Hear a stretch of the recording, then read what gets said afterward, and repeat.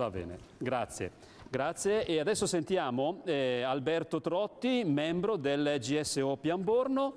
Grazie naturalmente per essere qui con noi. Eh, beh, a Pianborno c'è un bellissimo oratorio, quindi sì. l'importanza di avere un oratorio così ben attivo credo che sia fondamentale. Beh, è fondamentale perché comunque è eh, d'appoggio, di sostegno d'aiuto a tutte le attività, tra cui quella del biliardino che ovviamente è fatta proprio all'interno del nostro oratorio. Noi è il terzo anno che partecipiamo con una squadra e dall'anno scorso con due squadre e abbiamo sempre scelto appunto di stare in oratorio per portare nelle serate in cui facciamo le nostre partite in casa della gente, rendere vivo e poi come ho detto, avendo l'appoggio di quello che è il gruppo oratoriano e il gruppo sportivo dell'oratorio ci facilita e ci permette di eh, partecipare e di giocare e trovarci insieme, come eh. si dice sempre.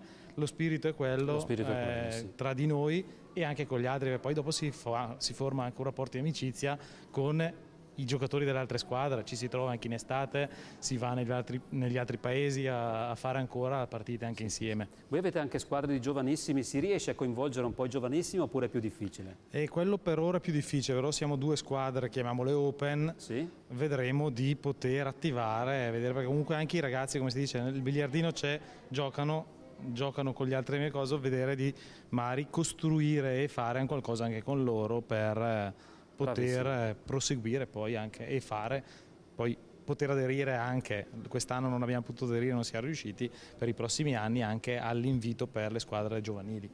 Ottimo, bellissimo questa cosa, tra l'altro potete essere d'esempio e poi magari sai, eh, eh, cominciano ad amare il biliardino anche i giovanissimi vedendo giocare Vedete. quelli un po' più grandi. Esatto. Grazie mille.